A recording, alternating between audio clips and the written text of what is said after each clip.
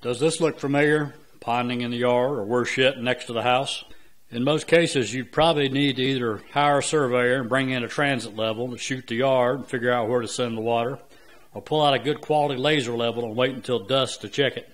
The far less expensive method is to use a water level. Follow along while I show you a solution that shouldn't set you back more than about 30 bucks.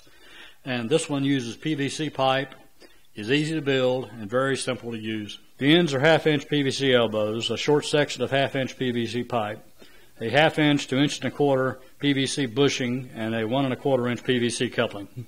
The opposite end looks the same. I'm belling the ends to make it easier to read and to help in the damping of fill level oscillations. Here is the entire rig. It's curved to show that you can use it to read around a tree or other immovable object, and it is 36 foot long. Yours may be a little longer or shorter, just depends on your needs.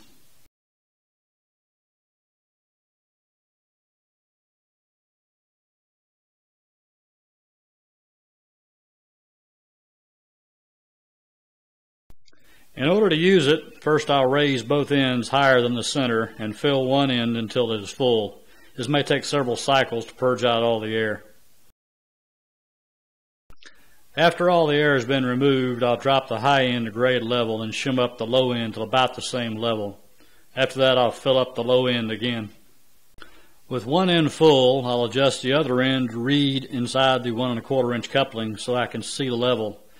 Now I'll just measure the distance the water is down in the one and a quarter inch coupling and then measure the shim under the pipe. In this case it is two and a half inches minus one inch or a one and one half inch fall over the entire 36 foot length of the level. Hope this helps you out.